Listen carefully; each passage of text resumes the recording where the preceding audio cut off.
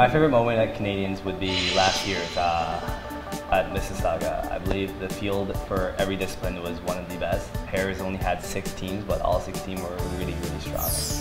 Just to see the level, the quality of skating in Canada be so high for, for Olympics, it made me really excited. Our ultimate goal for the season would be to get that third spot, which we are going to keep working as hard as we can to try to get it. And, everything else is just uh, get as much experience as possible. We're a new team, we know that, and we know that we're competing against people with lots of experience. So we're going to try and catch up to them and hopefully pass some of them.